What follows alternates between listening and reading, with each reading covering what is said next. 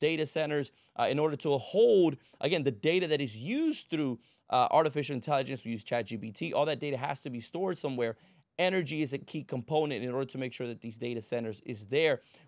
How do you see, uh, or, or what are the uh, items that, uh, or the policies that folks should be looking at when they think of AI, when they think of the United States staying competitive against China? What role does energy play in this debate?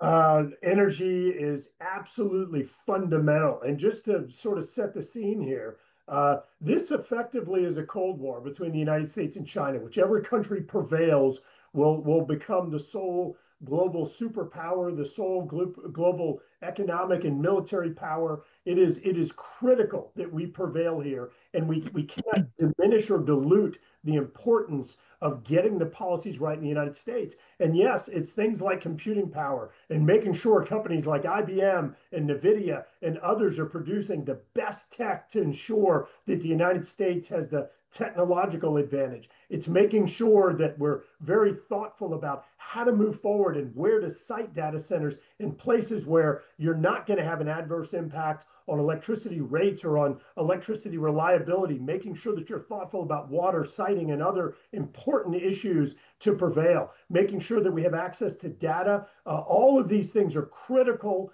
recipes to success or strategies that are so important to make sure that the United States prevails against China uh, in this war.